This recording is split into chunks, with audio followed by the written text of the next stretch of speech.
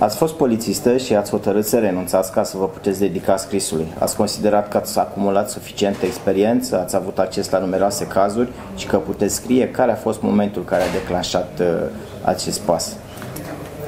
It wasn't as simple as deciding that I wanted to be a writer. Um, I I loved my job in the police force, but I wasn't spending nearly enough time with my family. My priorities were, were all wrong. And so I left the police actually not to write, but to look after my children. But I needed to earn money, uh, I needed to pay the bills, so I started writing for magazines and for newspapers, and at the same time, I wrote my first novel. And I've been a full time novelist ever since. I, I, I never went back to the police. Uh, sunt uh, curios, aveți și un roman bazat pe o poveste reală? To a certain extent, I, I think they all are. I, I, think my time as a police officer enabled me to uh, collect people's lives and people's stories. Um, my first novel, I Let You Go, was inspired by a real life hit and run, although the story itself is fictional. Um, and my third novel, Let Me Lie, is based on a real life crime, but I can't tell you what it is because uh, it would spoil the twist. I understand. Uh, ce considerați că aduceți în plus uh, față de ceilalți scriitori prin romanele dumneavoastră? I think that's really hard to say because I'm very British and we don't we don't like to um, uh, give ourselves compliments. Uh, I I think I hope that I am able to write very authentically about police investigations. And I also think that I have a focus on the emotions um, experienced by um, victims of crimes and sometimes offenders of crimes, which is a little bit different to a straightforward police procedural novel. Uh, procedurile polițienești uh, durează uneori, sunt extrem de migăloase și nu foarte captivante de cele mai multe ori.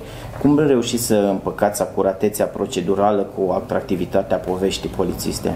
That's such a great question. It's really hard because you're absolutely right.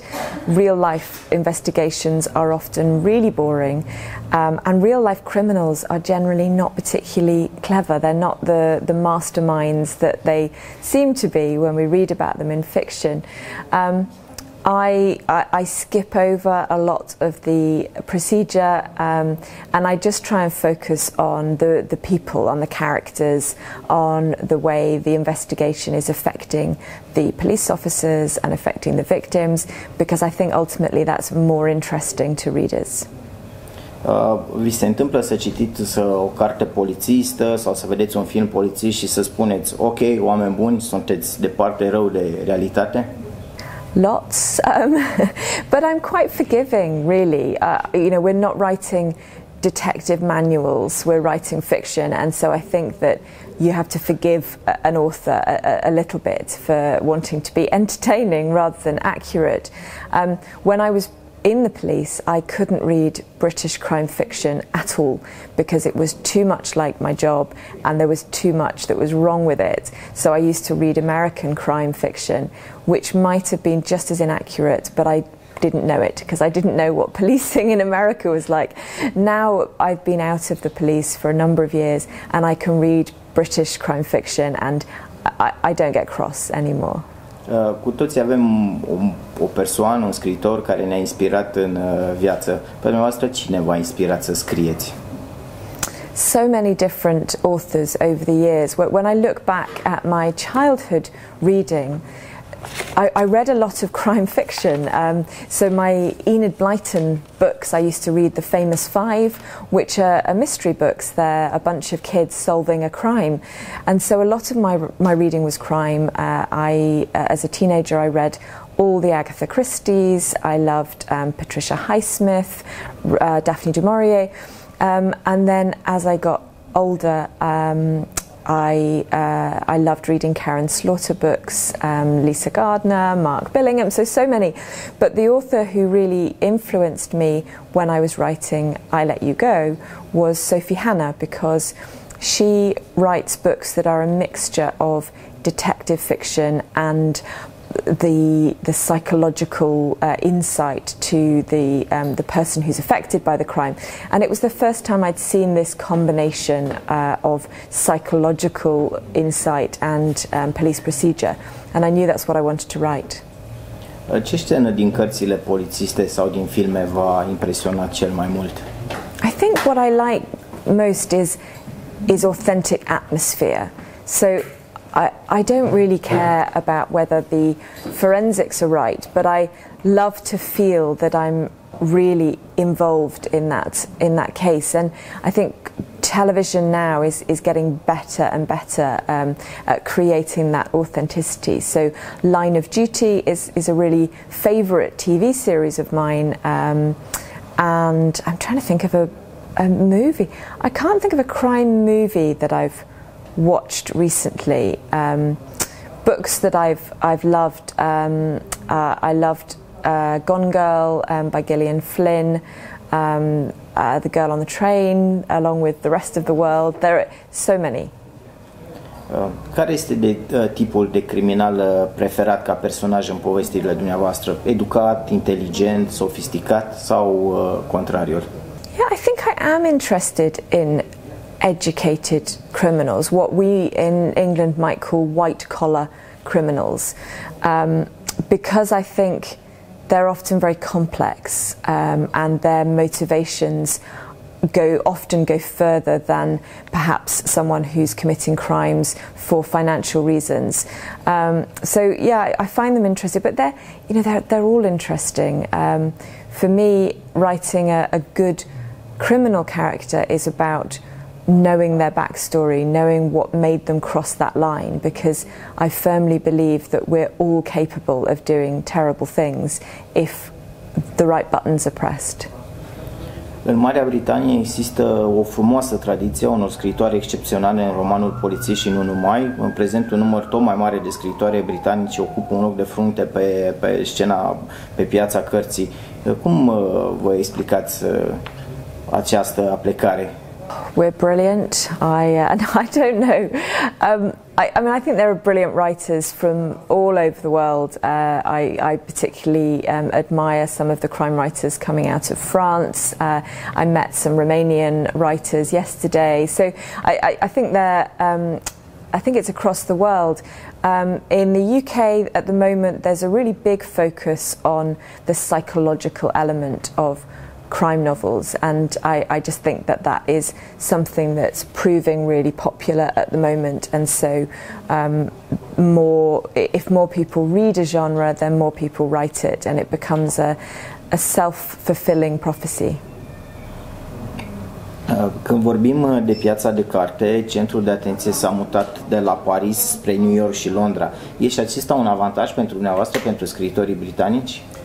Do you know what? I don't think about any of that. I, I, just, I just write my books. Um, I think I would drive myself mad if I tried to second guess the market or look at you know where the business was taking place. Like, my job is to write good stories. Asistăm la o avalanșă de seriale care tratează teme criminalistice, din NCIS, Crime Investigation, Ajută ele piața de carte polițistă sau uh, din contră ucid interesul pentru carte? No, I think they absolutely have piqued people's interest. Uh, there's also been a, a, real rise in true crime documentaries and true crime podcasts. Uh, people often look to crime fiction and to true crime as a way of making sense of the world.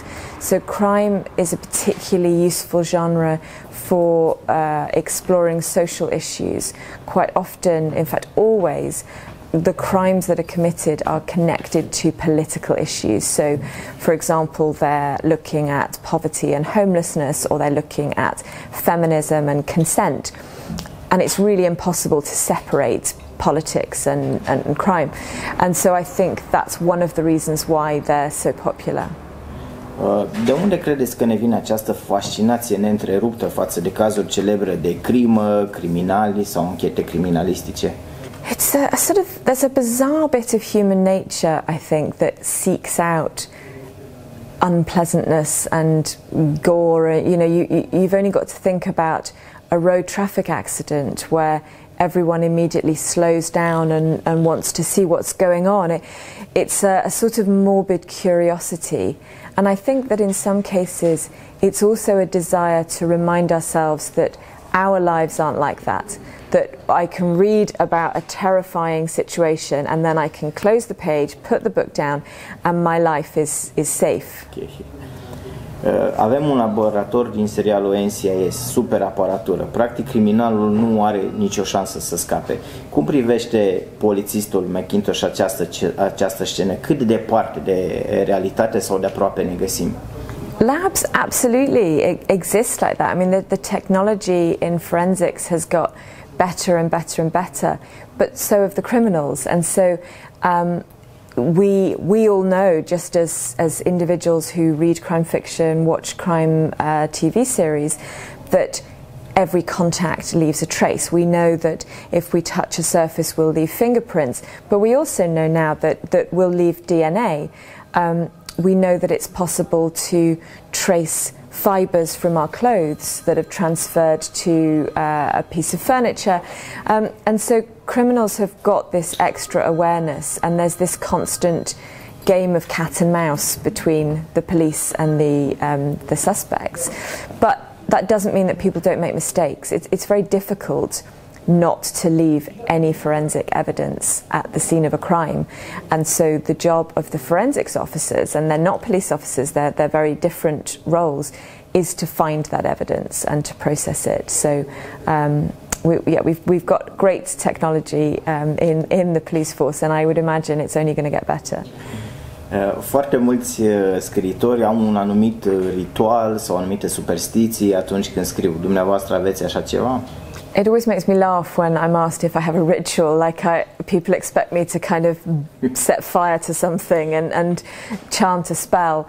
Uh, no, I don't have rituals. Um, I I don't I don't think writing is a magical process. I, I think it's a creative process, and sometimes it can feel magic, it is a job like any other job, and sometimes you just have to show up and write, whether you feel like it or not. And so, although I don't have rituals, I do have things that help me get in the zone of it. So I'll listen to the same music. I, I listen to um, piano meditation, so piano relaxation music, and I've listened to the same album for about four years. Uh, I don't even notice it now but it means that if I'm not in my office, perhaps I'm writing here in a bookshop, perhaps I'm writing at an airport or on a train, I can put my headphones in and I can put the same bit of music on that I only listen to when I'm writing, and it has um, a centering effect and means that I can get straight into my, my novel. Vorbind de acest uh, proces uh, de creație, în cât timp uh, ați terminat cel mai rapid roman? Well, I, I'm getting gradually faster. I Let You Go took it took six months to write the first draft, but then almost two years to edit it. Um, gradually, my first drafts have got faster, so I've just finished a first draft in uh, 12 weeks. That's my, my sort of shortest time to write a first draft. But that's not finished. I've got months and months of editing. So um, I I, I don't know. I think it, it, it's a bit. It's like having a baby. It takes at least nine months to um, uh, to have the to grow the baby, um, and then another nine months to kind of you know manage the newborn. Cred că fiecare scriitor își dorește să-și vadă cărțile ecranizate la un moment dat. Ce actori ați prefera pentru rolurile personajelor dumneavoastră? I'm really bad at remembering actors' names. I'm one of those people who can't remember, and then you'll show me a picture, and I'll go, "Oh yeah, him, yeah, yeah, I know him." Um, but actually, I I wouldn't want someone well known. Um, so we've sold the screen rights to my first novel, I Let You Go, and it's in development, but it takes such a long time. But I would love for unknown actors to, to play the parts because I, I think when someone's very well known, they carry with them an association from the parts they've played before. Um, and so um, I, I like the idea of a viewer watching a, a, a film or a television show and not having those associations, just seeing that character as um, uh, as the, the, the, character that, that I wrote. Um, as for director, I, I don't know. I was, uh, you know, it's a bit like the, the question about the publishing business. My job is, is to write the stories. There are experts who know the right person for the job, so I don't know. Ce înseamnă în Marea Britanie un uh, scriitor de succes uh, editorial și mă refer în special la tiraj? Well, that's that's an interesting question. Success means different things for different people. Um, sometimes uh, success is to be in the Sunday Times top 10 bestseller list. Sometimes it's it's money, sometimes it's figures. Um, for for me, I I'm not sure what I what I wanted. I wanted I wanted to sell enough books that I could work full time as a writer, and that was really the most important thing for me. Um, so it's not about numbers or um, or awards or accolades. It's it's for me. It's just about selling enough to let me do this job forever because I don't want to do any other job. Romanele dumneavoastră pornesc de la situații cât se poate de plauzibile pe care le-am putea întâlni oricând. Ar trebui genul acesta de povești să ne facă să fim mai atenți și mai conștienți în viața de zi cu zi? I think we should all be more aware and attentive in our everyday lives. I wrote I See You uh, because I became very conscious that we're instinctively creatures of habit. We like to do the same thing every day. Routine is very comforting to us because it's familiar. But of course, the more predictable we are, the more dangerous it is because if you know what you're doing every day, then someone else knows it as well. Um, and it, it certainly made me much more aware of my routines, and I've had lots of emails from readers who have said that they've changed their commute. Um, lots of people sending the book to their children who are working in, in cities to say, Look, read this, and, and now make sure you change your route every day. Aveți momente când vă doriți să vă reîntoarceți în poliție? No. no, never. I can't. Uh, I can't be a police officer in my pajamas. Um, I can't work the hours that I want in the police. Um, I can't take my kids to work.